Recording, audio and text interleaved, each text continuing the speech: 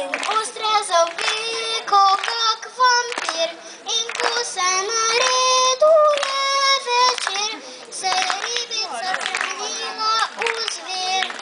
Tako je deklici odbil marak, da nikoli več ni mogla srat.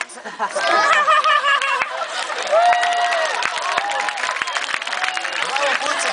Kdo bo to napisal? Kdo bo to napisal, da je pesmica? Sama! Pa taka beseda na koncu, to pa bila pika na i. Bravo, ena plav še za čebelice, ki so kar v eni točki naredile dva nastopa, ne? Še ka punce še imate?